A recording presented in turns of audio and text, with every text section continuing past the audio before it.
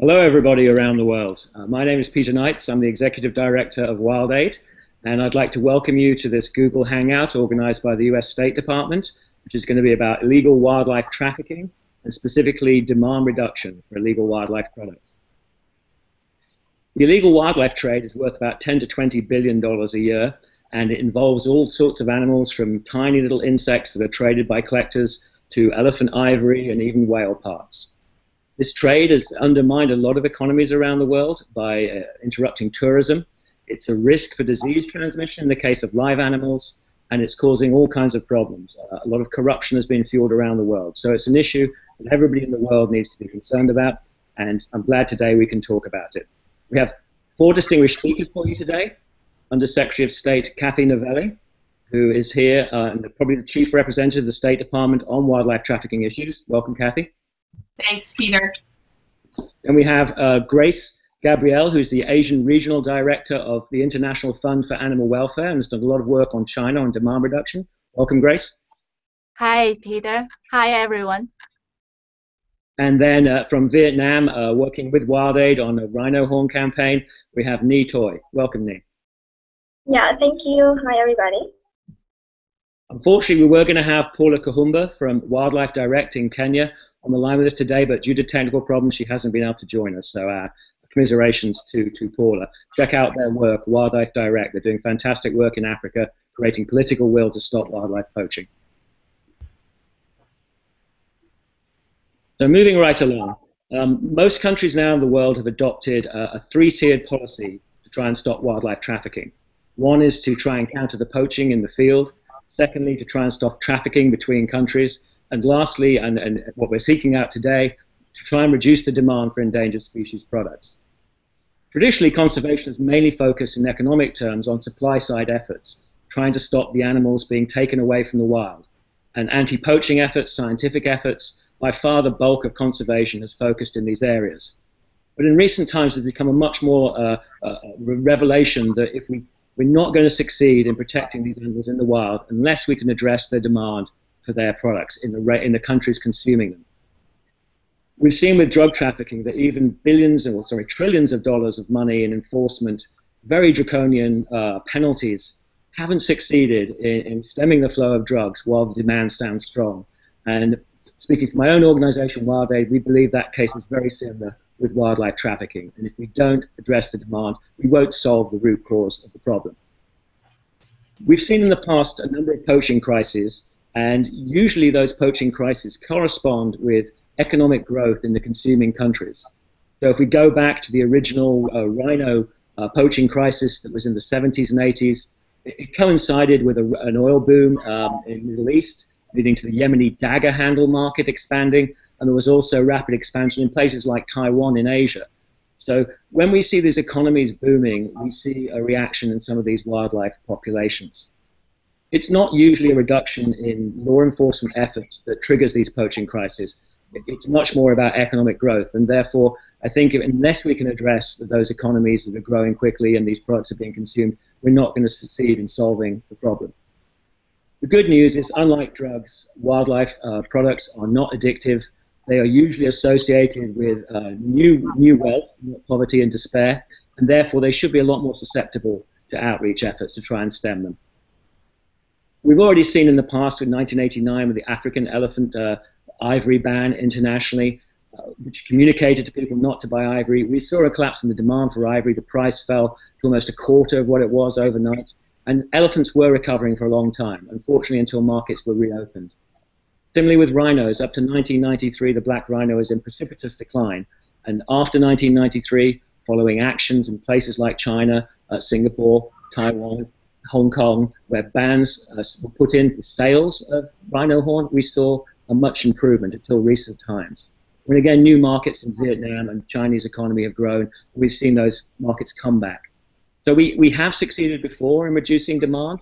Um, recently, uh, we have been working at WildAid a lot on the shark fin consumption in China, and following a, a very extensive campaign with great support from the Chinese government, and a ban on shark fins uh, at state banquets, we've now seen a 50 to 70% decline in the consumption of shark fin in China.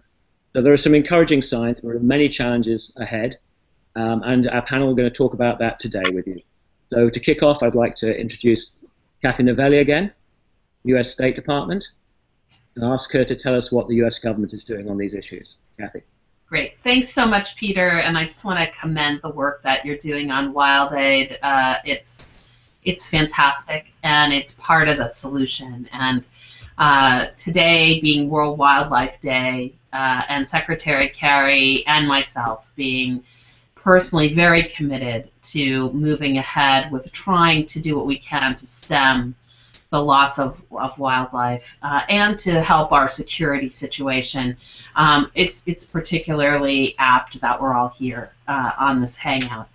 And uh, what I what I thought I could start with just for a few minutes is some of the statistics as, as Peter sort of outlined the issue. I think the statistics are, are really dramatic. And uh, if you think about just uh, just about a century ago, there were 10 million elephants roaming Africa, whereas today there's only 420,000. Um, there are uh, 13 rhinos were poached in 2007. And in 2014, just last year, there were 1,215 that were slaughtered.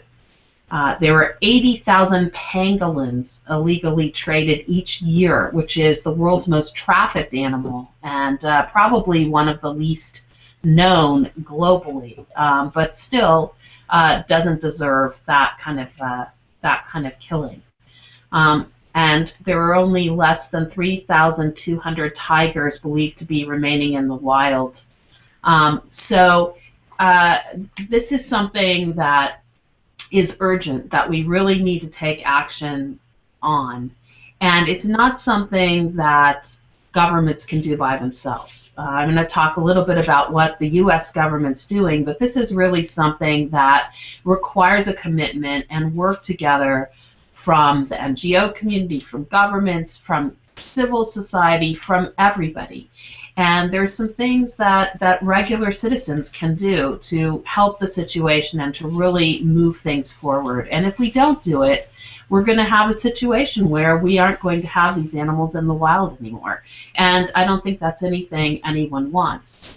At the same time, the other thing that's happening is that the revenue from slaughtering these animals is going to fuel organized crime, it's going to fuel terrorist cells, it's going to fuel um, militias. And uh, I don't think anybody on this hangout believes that that's a positive force either. And so, so I think there's there's a security reason as well as a conservation reason for trying to take action. And the um, the U.S. government is actually uh, under President Obama.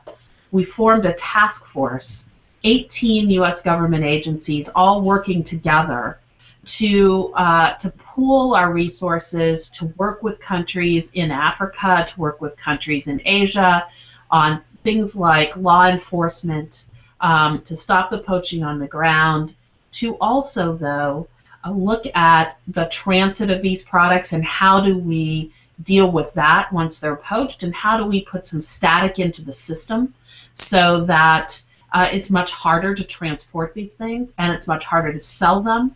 And as Peter said, the other really big piece of this is we need to deal with demand. And so we are funding some uh, campaigns on awareness. We're trying to do as much outreach as we can because we think it's very, very important that everybody has a role to play and take action and understand what's going on and what's at stake. And so, uh, just some things, practical things that folks on this Hangout can do uh, to to help this dynamic. The first thing is don't buy ivory, don't buy rhino horn, don't buy anything uh, that is coming from an endangered animal. The second thing is it's very, very important that you use your own networks to let people know what's going on and that it's wrong and that as a society this is not something we approve of or think is is something that's a good thing. One of the most interesting things to me was that a number of people who are using rhino horn, using elephants, don't even understand that in order to get the horns and the tusks, that actually you have to kill the animals. So I think there's a lot of, um, lack of information there that really needs to be spread around, and that we can work together to try to change because uh, the demand piece of it is part of what is driving all this. If there wasn't a demand, there'd be no point in massive slaughtering of these animals. So I look forward to working with everybody on this hangout and uh, to to do what we can to try to really turn the tide. And as Peter said, there is hope that if we can tackle these things, we actually can stem the loss of these animals. Thanks, Peter. Yeah, I'd, I'd, like to reiterate what you said there. We found in a lot of cases that uh, it's not the consumers themselves that have been moved by the awareness campaigns, but perhaps their children and grandchildren. And they've been very, very influential on the older generations. And I think we've seen that with smoking in the United States. So just because you're a younger person who doesn't necessarily consume these products, please, you know, talk to your elders and in a respectful way, but pointing out what's going on. I know Grace has done a lot of work on trying to remove the myth that uh, elephant uh, tusks just fall out and someone picks them up. So, Grace, that's a perfect lead into you. Grace Gabriel from IFAW. Thank you. Thank you, um, uh, Undersecretary Kathy Novelli. I, I very much support that to address wildlife crime, we need to co combat and smash every link on that trade chain from poaching to uh, trafficking to demand for wildlife parts and products. And, and also to address these three links, we need to improve uh, wildlife laws. We need to enhance enforcement. We also need to change behavior, change consumer behavior. Um, as a partner, IFAW is a partner um, to a USAID supported program called Asia Regional Response to Endangered Species Trafficking. Uh, as a partner in this program, what we are doing in China is to, uh, it's a comprehensive strategy to reduce wildlife trade by reducing both supply and demand for wildlife parts and products. By reducing supply, what we're doing is working with Chinese government and with the private sector to make marketplaces inaccessible and in, unavailable for wildlife parts and products. Since 2007, we have been working with Alibaba and its Chinese uh, subsidiary Taobao to remove wildlife parts from online trade. And Taobao and Alibaba have banned tiger bone, rhino horn, bear fowl, pangolin scale, uh, turtle shells, um, and, and, and shark fin since 2008. And by removing these, led by Taobao and Alibaba, currently over 20 Chinese companies have taken a zero tolerance policy against wildlife trade online and are monitoring have shown that there is a sustained reduction in wildlife parts and products traded online. And also we influence Chinese uh, government policy by by making another sector of market un unavailable for trade. We have noticed since 2007 that wealth is increasingly overtaking health as the main driver of demand for wildlife parts and products in China. So we informed the authorities about an increasing uh, sales of tiger bone, rhino horn, uh, elephant ivory in the auction market. We were able to get the, the government put a ban on the trade of tiger bone, rhino horn, and, and um, uh, elephant ivory from online uh, from from auction sector, and that reduced China's overall auction turnover by 40% uh, in the year 2012 and and that represent 322 million US dollars. What we believe is by making marketplaces unavailable for trade and enhance enforcement will help also stigmatize ivory and support demand reduction efforts. And as Peter mentioned, that demand reduction is something that we are um, we, we, we work very hard in China. In 2007, we did a survey where we found that 70% of the Chinese did not know ivory comes from dead elephants because in Chinese, ivory is elephant teeth. It, it literally is 象牙 means elephant teeth. So people think teeth can fall off and, and people don't have to die. So based on that knowledge, we have produced a campaign. It's called Mom, I Have Teeth. It's um, and that campaign has uh, penetrated the market uh, 75% of China's urban population and have reduced the propensity of the group of people most likely to purchase ivory from 54% to 26%.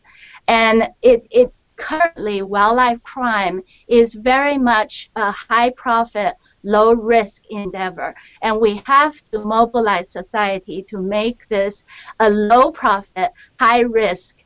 And only by doing that can we change uh, for wildlife. Thank you, Grace. Thank you. Yes, some signs of hope from China. Uh, another country we're going to switch to now, which uh, back a few years ago was only really a source country for wildlife, has now evolved as perhaps the most uh, significant market for rhino horn. Nhi, tell us about what's happening in Vietnam, please. Um, yes, um, I think um, all you in this um, in the hangout group know about the statistic of the rhino population lately. And like Peter said, um, Vietnam has uh, just emerged to be a new market for rhino horn, and we are uh, to blame as the leading, uh, as the world leading consumer of rhino horn, and uh, this uh, this is comes from the fact that Vietnamese people believe that rhino horn can heal some uh, kind of diseases like cancer, uh, fever, hangover, for example, and um, this causes a major threat to the uh, rhino population. Um, we have uh, recorded that uh, the last rhino, uh, the Javan rhino from Vietnam, uh, was declared uh, to be uh, extinction, uh, to be extinct in 2010. And from that on, because um, Vietnamese people, they believe that rhino can cure cancer, they crossed to Africa to kill the rhino of their um, of Africa, and they were blaming us for for that reason. And so when the WildAid approached us in 2004, we jumped at that opportunity to collaborate, And uh, together with WildAid and uh, African Wildlife Foundation, we launched the Stop Using Rhino Horn in 2004. And because, like uh, just like Catherine mentioned, that we uh, we really believe in the power of our communication. We think that our awareness can do um, can solve the problems. That's why we harvest the power of the media and also the celebrity to do uh, why uh, a, nation, uh, a national wide and international wide uh, campaign, uh, and we can like uh, engage a lot of partners like media partner the launch, we can engage about 17 uh, partners, uh, and they provide us about uh, 1.3 billion US dollar uh, equivalent in donated media. And from the launch in March 2014, um, we have produced about uh, 11 ESA, that is about um, 30 second TVC to launch a national viral hour media partners. And we have to we have done a lot of activity uh, to raise public awareness and we engage the business people, uh, engage uh, young generation that the students are private for school uh, because we believe they are a key influence to their family member. And um, and like uh, we also engage the journalists um, in our media briefing uh, event, and in 2000 and to this year we continue to do uh, we continue to execute the Stop Rhino campaign with more hard-hitting activities to our focus uh, target. We do it more focused because uh, we uh, can define that our target people are business people because like um, the price of the rhino horn at the moment is very expensive. Only rich people can buy it, and also um, and also the government officer are one of the um, government officer and also people who are suffering from disease that they believe that rhino horn can cure cancer. So we focus on those target audience, and we do like uh, we set out uh, specific activities to raise their awareness. For example, for the business people, we go to talk to them directly in um, the CEO conference, for example, and we uh, persuade them to be our ambassador to spread out the message to their network. Because, like, um, actually, people in Vietnam they usually believe in uh, the rumor and also they believe in the people around them. They, they, they listen to people around them, to their friends, to their their uh, uh, relatives. That's why we are uh, persuading those people to spread out the word. And we also persuade um, the CEO to sign the pledge, and we intended to, co to collect uh, about 100 signatures of the high-profile uh, CEO to be um, to the government. Um, for the uh, for the um, uh, people who are suffering from uh, diseases, especially cancer, we will engage uh, people from the um, we will have the hospital project. We will engage the Ministry of Health to help us to uh, give out some policies to um, the hospital system, um, and we will organize um, the workshop or seminars to the hospital and persuade the doctor there to uh, not give uh, rhino horn um, in their prescription, and also to promote to talk to their patient not to use rhino to uh, cure diseases. Um, and because like um, we really believe that this uh, project will work uh, perfectly because uh, people in Vietnam really believe in uh, health expert and uh, to the government uh, bodies, we have uh, some activities like we provide uh, detective dogs to help them to uh, uh, detect um, the um, wildlife product and um, like um, as I told you earlier that um, if I if I can stop you there, if I can just stop you there, thank yeah, you. Yeah, yeah. Um, yeah, we. Uh, I think it's a great point you make there about the the cancer, which to me is one of the worst things that's happened with this wildlife trade now. Rhino horn was never used traditionally for cancer, and not only are those people um, lying to very desperate people who often have relatives suffering from cancer, they're often giving them buffalo, or even if rhino horn did work, they're not giving the real thing, and that really shows the kind of people involved in this trafficking. Um, I'd like to move to some, some questions now, if I could. And please send in your questions. We may be able to get to them as we go. Um, one of the questions that's come up is uh, China recently announced a, a, ban on some imports of ivory. I think this was somewhat misreported in the, in the media. It only really applies to a very small amount of personal use ivory, which is coming from uh, Zimbabwe and Namibia. Um, but I think it's an important step in the right direction, and it, it's in line with a few other things the Chinese government's been doing, such as warning um, text calls when people arrive in Africa, warning them not to use rhino horn and ivory. So, um, would you like to comment on this, Grace, the, the latest announcements from the Chinese government? Um, yes, thank you, Peter. In in fact, the the um, ivory that import that could be stopped by this notice is negligible.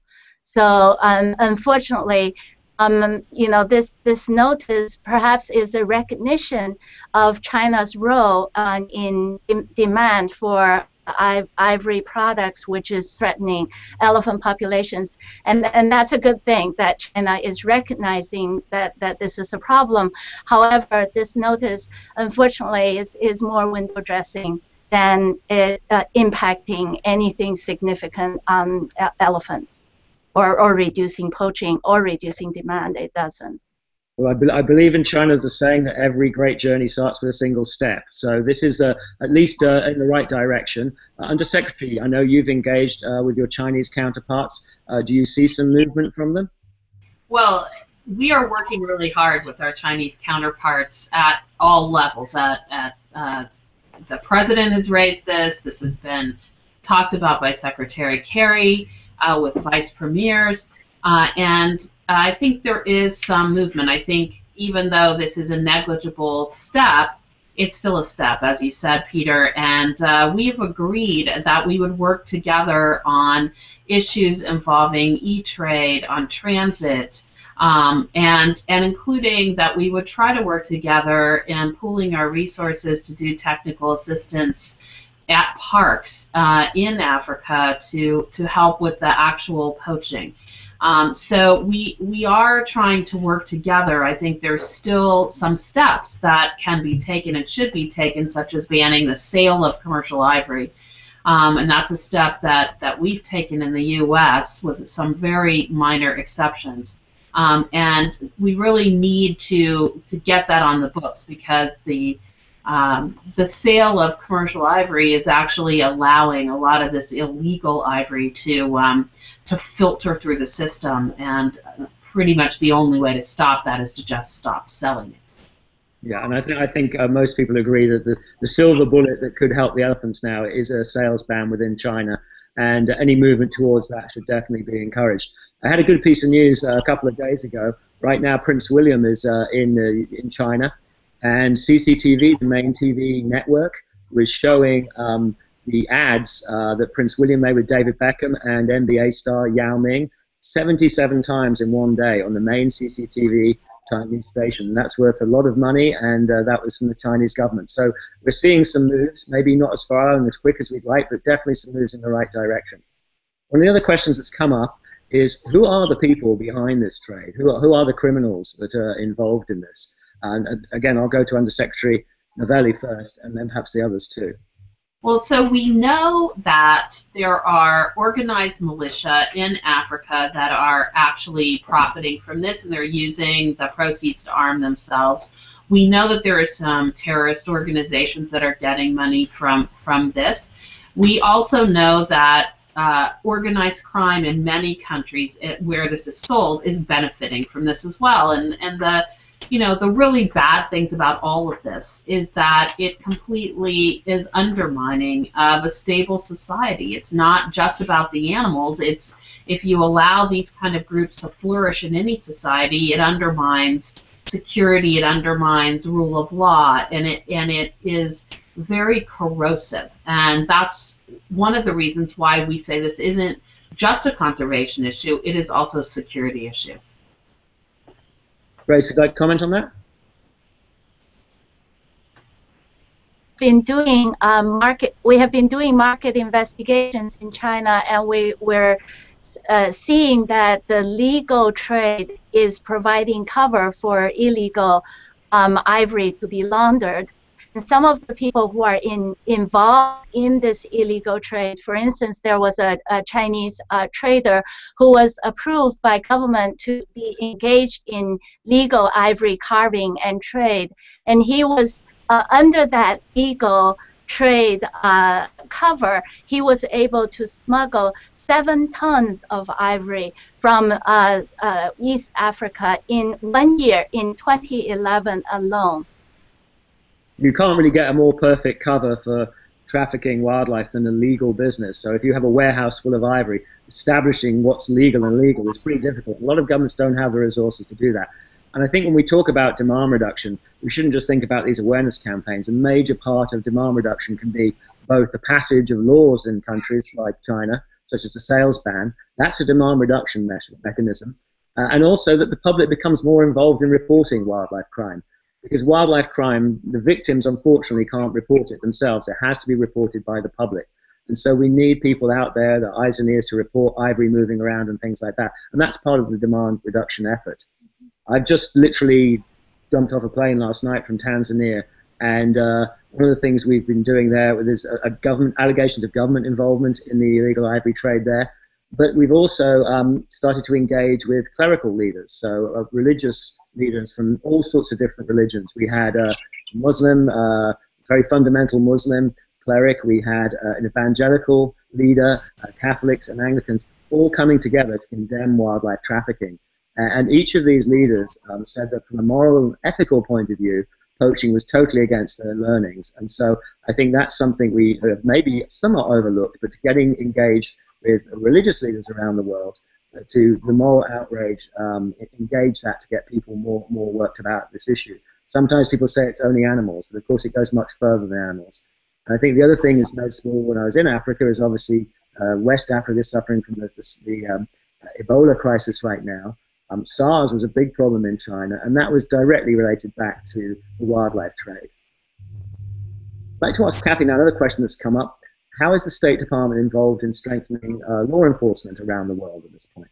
So um, what we're doing is we are actually helping uh, train law enforcement officials.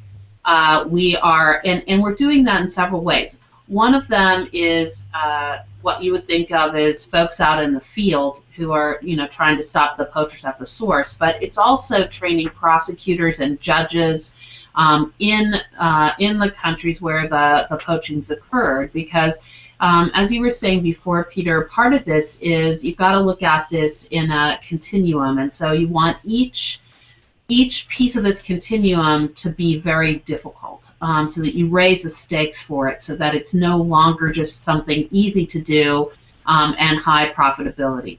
Um, so, so we are we are doing that. We are also helping um, train the uh, our Fish and Wildlife Service, who does a lot of anti-poaching work here in the U.S., is taking their expertise and training um, folks in the field uh, in Africa as well. Um, as well, our uh, Customs and Border Patrol folks are working at ports to try to, to say, well, what's a state-of-the-art way to detect uh, when these things are moving. So, so we're really trying to uh, both help with funding and garnering our expertise to, uh, to share it with others. Uh, the United States is sometimes described as the second largest market for illegal wildlife. I think that might be a bit of exaggeration, but we're certainly a major market for things like uh, caviar, illegal caviar, uh, re live reptiles, reptile skins, maybe some of the products that people don't think of as much. Um, this isn't really your department, but um, uh, is couldn't the United States be doing more to raise awareness domestically and reduce demand in, in our country? Yes, and so that's why we have a whole task force, and our task force is not just looking at what what we do to help folks internationally. It's also how do we coordinate these 18 U.S. government agencies, each of whom has a piece of responsibility, and how do we coordinate our own work domestically so that we make it very, very hard for anything illegally traded to be sold here. Um, and uh, and so we actually have a whole action plan that we just published uh, last month, and uh, and we are going to be holding ourselves accountable um, with a report card showing what have we accomplished towards this end. Uh, in addition to that. Um, uh, the Department of Interior is putting out regulations, you know, banning all of these things, and is uh, and as I said, we'll have some very few rare exceptions for certain antiquities and things. Um, so we're trying to tighten down what the rules are, and we're also trying to tighten down the enforcement domestically here in the United States. Well, we just got our audited figures in from China, and we got $200 million worth of donated media space from China, a lot of that from the Chinese government. So I throw out that challenge to the United States. Are we going to let China beat us on the demand reduction program? I hope not. Well, I think competition's a good thing. So um, if if this gets everybody going, then that that's great. So I'm going to go through the panel. I'll start with you, Nhi, on this question. What can the average person say? You're not buying these products yourself. Um, what can you do to try and help this issue? Um, I think for an average people, for like anybody, they can have to spread out the message, and um, I think in a fight for wildlife, we do need to have from the government. But usually, government don't listen to us. But if we can create a social pressure on them, they they will listen to us. So by the the way that you spread out information, you talk to your friends, your relative, you discuss a lot about the issue, and you like report, um, like uh, you create conversation and um, like if you can write write about it, share it on your blog, and uh, to the journalists, to the media, then they will talk about it widely. And if you know any like like uh, uh, crime or case, for example, then report it to uh, the relevant agency. Then you can help. Grace, same question, and where can people go for more information? Um, I think recently we IFAW has also started another phase of our campaign is to mobilize society um, to uh, to make ivory trade unacceptable. For instance, we have a, group of key opinion leaders from all sectors of society, from religion, from art, entertainment, from from politics, from business, from uh, auction or you know collectibles, antique uh, industry. They're coming forward to say that it's it's it's not this is it, it's it's not cool to to uh, possess wildlife um, uh, parts and products. It's not cool to um, stimulate poaching of uh, endangered species. And this campaign has also um, what what we're using these key opinion leaders to do is to produce uh, PSAs, and then these PSAs are helping their friends, fans, families, and and peers to change opinion and and also take action. And this is this um, you know, I, I, very much support um, an earlier comment about competition. I think countries, these these um, uh, you especially the world's two of the world's largest economies, China and U.S. If we can create a competition among these two countries to see who is the conservation leader that would be a great thing. Um, for for the U.S. to um, to crush ivory, it was great. You know, in November 20, uh, 2013, U.S. crushed six tons of ivory, confiscated ivory, and then two months later, China crushed 6.1 ton of ivory. That's a great thing. And what U.S. is doing to uh, uh, to have a, a tighter domestic uh, regulation to control the market in in the U.S. That again sends a very strong signal, and I hope Chinese uh, Chinese government will also um, emulate that that action. And also another um, key key point is we need to um, create this this echoing effect. What we are doing in China to reduce demand, we need to have uh, artists from, you know, or, or key opinion leaders from outside of China, outside of Asia, to to support, to echo their voices. Um, I think quite often people point to that problem and a, a, specific geographic region and say the problem is only there. And that's not that's not true. And we need to acknowledge this is a global problem and it needs people from all over the world working together to address it. Absolutely. Kathy? Well I, I, I would just echo a lot of what's been said and i think that everybody has a responsibility. It's it's uh, it's a personal responsibility and it's something that uh, we all have to do. I think it is creating a uh, social stigma around this, and because it should be, and to to really on those who are engaged, as you said earlier, Peter, people's children, people's religious leaders, um, just society in general um, that we really need to um, all say this is wrong and no one condones this. And the laws that are on the books have to support that.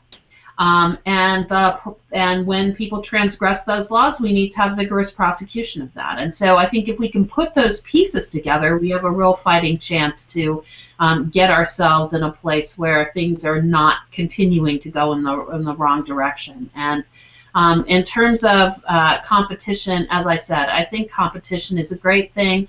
I also think working together is a great thing, and we're going to continue to try to um, work cooperatively with the government of China, the government of Vietnam, the governments of other countries to um, to join together to make this um, a very um, strict uh, enforcement regime.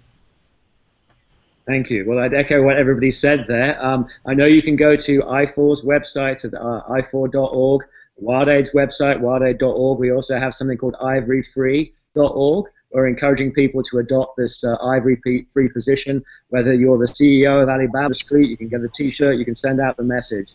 And uh, I'd just like to sort of end on on a fairly optimistic note um, in that we have been in these situations before. In 1989, the elephants were in a terrible, terrible shape. The poaching was maybe even worse than it is today.